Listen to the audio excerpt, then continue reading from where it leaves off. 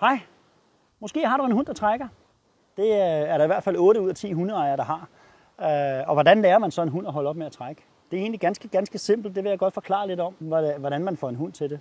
Øh, jeg kan også godt vise, at, at, at hvordan en af de, mine egne hunde her ikke trækker. Men prøv at høre, der er lige en ting, vi skal slå helt fast. Det er, jeg hører ustandsligt, ustandsligt, at hvad for nogle spørgsmål, ikke? Hvad for en sele skal jeg bruge?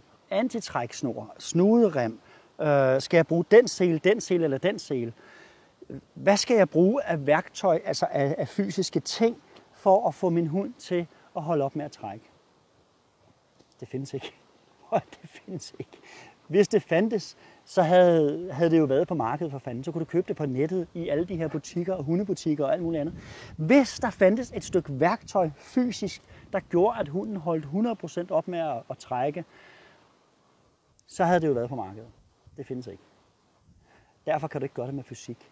Du kan ikke træne en hund rent fysisk ved at holde den, ved at gøre, ved at trække, ved at hive og flå og hvad ved jeg. Det kan ikke lade sig gøre. Det foregår herinde.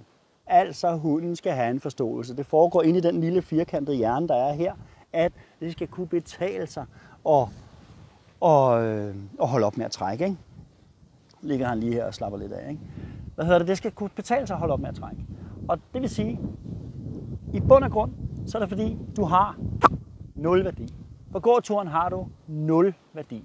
Du har ingen værdi for hunden, for så gad den godt at gå ved siden af dig. Fordi det er dig, der giver den alle de gode ting, når det er, at den går ved siden af dig.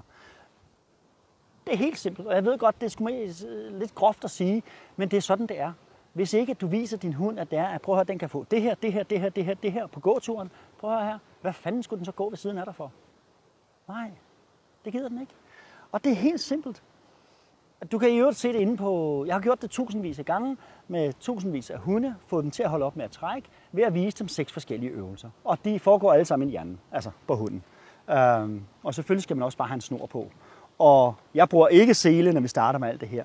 Der har egentlig bare, øh, det, er, det er bare et træktog til en hest, I kan se, sådan et til en hest, som i øvrigt også vejer 500 kilo. Tænk en gang, hvis den skulle, skulle trække med mig.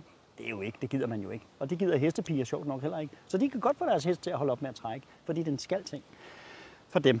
Til, Nå, men jeg har bare en lille bomuldshund, det gør ikke noget. Nej, nej, men så, så får du det heller ikke. Nå, men prøv at se her. Det her det er bare et træktog. Jeg puttede den her ind i fuldstændig, som at det var en retrieverline. Der er bare ikke en stop her, som der, som der er på retrieverlinen. Det er det værktøj, jeg bruger, og det kan du se inde i vores VIP, øh, vores VIP Academy, hvordan jeg gør. Seks simple øvelser, og kan jeg gøre det, så kan du fandme også gøre det. Øh, som sagt, så har jeg gjort det flere tusind gange med ikke mine hunde, men for så mange hunde har jeg jo ikke, men med så mange andre. Så du kan også gøre det. Prøv at høre her. det er ligegyldigt, hvad du tager på. Og jeg, jeg, jeg, jeg er nødt til at sige det. Det er ligegyldigt, hvad du tager på af seler og værktøj, som du kan købe på nettet, som du kan det ene og det andet. Det virker ikke. Så kan man sige, alle de ting, du kan google dig til, eller google dig til, jamen øh, det er meget udbredt, at når hunden trækker, så går den anden vej. Ja, ja, det har vi fået at vide i tusinder, i tusinder af år. Øh, eller i hvert fald lang tid. og prøv at høre, det virker. Det tager bare 6-8 måneder. Og det er sådan set 10 procent måske af hundens liv. det gider man jo heller ikke. Prøv at høre her. Nu vil jeg godt lige prøve at vise, at det er, at øh, jeg tager lige ham her, drengen her. Der er en godbid. Øh, dem tager han jo selvfølgelig ikke, fordi det har han, det ved han godt, og det skal man have lov til. Men jeg vil egentlig godt prøve at vise jer noget. Det er, at, at de her seks øvelser, de, øh, det går ud på, at det er, at hunden skal kunne sidde ved siden af dig og lave ingenting, ligesom han nu ligger og laver ingenting. Hvis ikke den gider være sammen med dig her, hvor den står ved siden af dig og sidder ved siden af dig, hvorfor helvede skulle den så være sammen med dig, når I er ude på god tur? Hvis ikke du får det, kommer du ingen vej. Det handler altså om at gøre det i den rigtige rækkefølge. Nummer to, det er at give den et target. Nummer tre, det er at, øh, at lave kontakt med øjnene, øjenkontakt. Nummer fire, det er, at hunden følger efter dig, når vi har lært target. Nummer fem, det er, at vi lærer hunden ordet nej. Og det lyder sådan her. Det lyder ikke nej og surt og alt muligt andet. Det er nej, og det får de sådan set en godbid for. Det kan du også se derinde. Og nummer 6, det er en bliøvelse. Altså så den, så den bliver der, hvor den er, og så kommer vi tilbage og alt det her og henter hunden. Ikke? Så prøv her. Kan du de seks ting, så går den hund pænt ordentligt. Fordi det kan betale sig for den. Og hesten, det er sgu sjovt, de der hestepiger. Når de, øh, hvordan har de egentlig også måske fået deres hund eller hest til at holde op med at trække? Jo, for det kan betale sig fra hesten. Heste, de sover ind om natten, eller det gør mange heste i hvert fald. Så det vil sige, at de er ude på folden, Og de ved godt, at når de kommer ind, så får de noget at spise. Og det vil sige, at gå stille og roligt, gå pænt og alt det her, så får du det, der er inde i krybben. Fint. Så bliver det næste morgen. Så vil de gerne have græsset derude og sige, ej, nu er jeg træt af at sove her og gøre alle de her ting, så nu vil jeg gerne ud og have noget dejligt frisk græs. Gå pænt og ordentligt, skat, så skal du bare se, så får du også det her græs. Og hvis du lige venter, hvis du lige venter ved ledet, og så siger, ja, bare lige vent, og venter med at tage kabinhanen af, og siger, værsgo skat, så får du det. Så lærer den også at vente og tage de her ting. Prøv at høre, det var om hest. Men prøv at høre, pigerne gør det. De her hestepiger, de gør det. Øh, fordi den skal ting. Du kan sgu da ikke have en hest på 500 kilo, der trækker efter dig. Så, så de gør det. Hvis de kan, så kan du da også.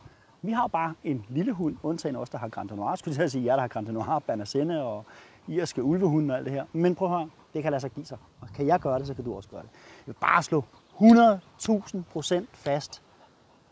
Du kan ikke købe dig til det med fysiske genstande, som det ene eller det andet øh, værktøj, for så var det opfundet. Og havde jeg vidst det, så havde jeg opfundet det. Prøv at høre. Selvfølgelig havde jeg det. Det findes ikke. Fordi du kan ikke, hjerner er ikke til salg. Der er ikke, man kan ikke købe en hundehjerne og proppe ind i en hund, og så sige, bang, jeg vil gerne købe den her, putte ned i den her hund, nu kan den det her. Nej, det kan man ikke, ligesom man ikke kan gøre det på mennesker og andre levende væsener. Det er man nødt til at træne og være sammen om. Jeg synes, at man overhovedet gider øh, i det her øh, at gå sammen med mig. Han er også en lille, han, uh, her, en lille, hvad hedder sådan en, savlefætter, ikke? Nå, jeg tager lige den her på, det er ikke engang sikkert, han gider have Men lad os nu se.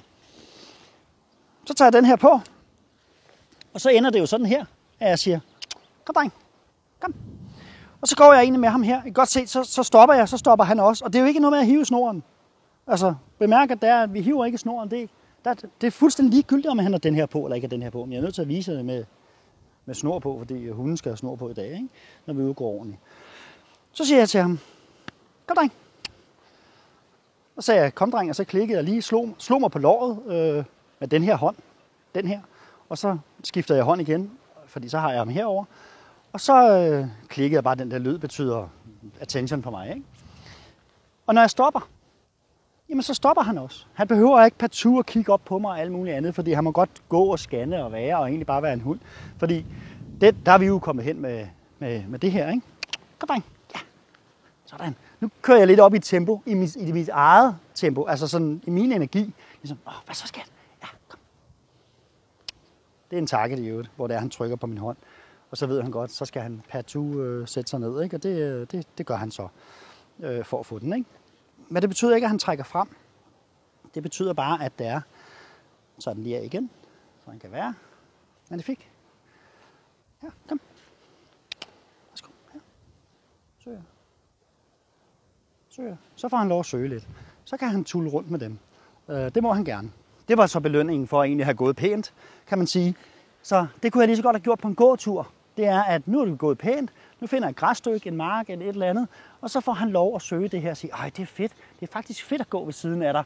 Fordi jeg får faktisk noget for det. Når vi kommer langt med hundene, så kan vi bare vente i længere tid. Vi skal bare altid huske at belønne dem øh, med noget, som de synes er sjovt. Ikke? Så det var bare det, jeg ville sige til jer. Det er, træk din hund.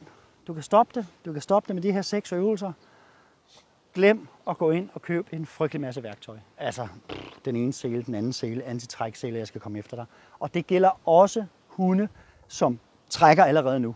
Det er selvfølgelig nemmere at gøre det med en valg, det er klart. Øh, den har ikke øh, trækket fra starten af. Der er det jo endnu nemmere, så har den jo aldrig lært at trække.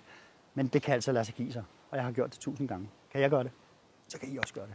Så god dag. Nu går jeg med min dreng her, og så, øh, så kan I selv træne.